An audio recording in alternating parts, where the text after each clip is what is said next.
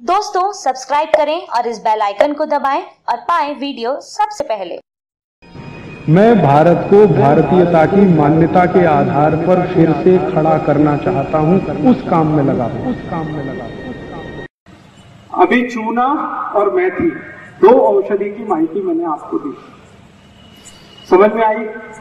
अभी तीसरी एक माहिती और देखो जैसे चूना है, मैथी है, ऐसे ही अपने स्वयं पाक घर में एक बहुत अच्छी औषध है। उसका नाम है दालचीनी बहुत ही अद्भुत है। ये दालचीनी इतनी अच्छी औषध है कि आप इसके बारे में भी हैरान हो जाएँगे सुनकर।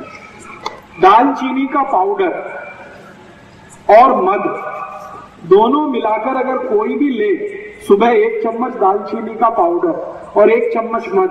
दोनों मिलाकर अगर कोई भी खाए तो ट्यूबरकुलोसिस माने टीबी अस्थमा ब्रोंकियल अस्थमा और अस्थमा के फैमिली में होने वाली जितनी भी बीमारियाँ हैं, जो एलर्जी से ज़्यादा शुरू होती हैं, ये सबको ठीक करने की ताकत दालचीनी में है।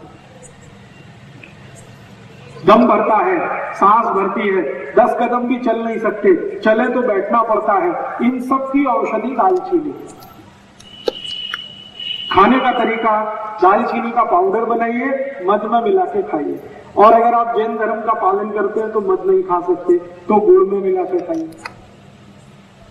जितनी दालचीनी उतना ही गुड़। दोनों को गर्म पानी में घोल लीजिए, पानी को पी लीजिए। ये दालचीनी गंभीर से गंभीर रोग में काम आती है। आपको बहुत तेज बुखार आया, उसमें दालचीनी काम आती है। सर्दी जुकाम होता है, उसमें दालचीनी काम आती है। वायरल फीवर है, उसमें दालचीनी काम आती है। बैक्टीरियल फीवर है, उसमें दालचीनी काम आती है। शरीर को मोटापा बहुत हो गया है, वज़न कम करना है, उसमें दालचीनी काम आती है। शरीर को कभी भी भूख ही नहीं लगती है, उसमें दालचीनी काम आती है। एकदम बारीक शरीर है जिन बच्चों का, उनको भी दालचीनी काम आती है। ये एक दालचीनी तेईस रोगों को ठीक कर देती है। बहुत अद्भुत है तो रसोई में ज़रूर रखिए इस दालचीनी कभी भी आप इसको उपयोग करेंगे धोखा नहीं देगी दालचीनी सब्ज़ी में डाल के खा सकते हैं।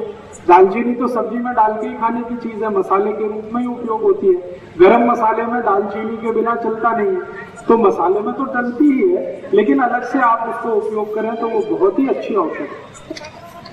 प्रमाण ये एक चम्मच दालचीनी पाउडर एक चम्मच मध। पण वो भी मध और उसके साथ अपना मेथी के साथ बाद में वो भी खा अगर मेथी खा रहे हैं तो इसकी ज़रूरत नहीं। ये खा रहे हैं तो मेथी की ज़रूरत नहीं। एक बार में एक ही औषधि खाइए।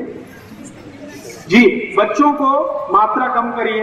आधा चम्मच काफ़ी होता है बच्चों को। बड़े लोगों को एक चम्मच। एलर्जी के लिए एलर्जी के लिए बेस्ट मेडिसिन है दालचीनी। किसी भी तरह की एलर्जी आपको है शरीर में नियमित दालचीनी खाइए मध में मिला के। मध नहीं खा सकते तो गुड़ में मिला के। तीन से चार महीने में सब एलर्जी ठीक कर देते। सुबह के के खाली पेट। एसिडिटी के लिए खाइए दालचीनी बहुत अद्भुत। दोस्तों सबसे पहले तो चैनल सब्सक्राइब करें फिर लाइक कमेंट और शेयर करें। और हाँ हमारा एंड्रॉयड ऐप डाउनलोड करना ना भूलें।